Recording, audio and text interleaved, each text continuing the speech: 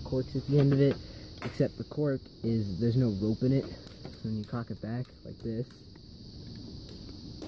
you shoot it,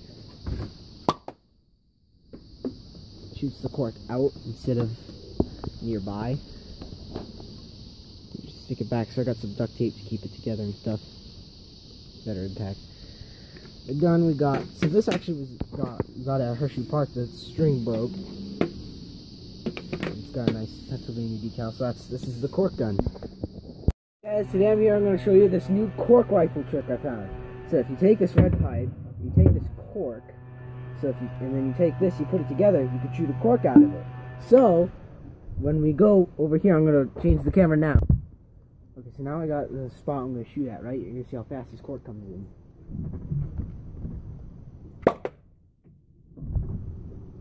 And that's how fast the cork comes in.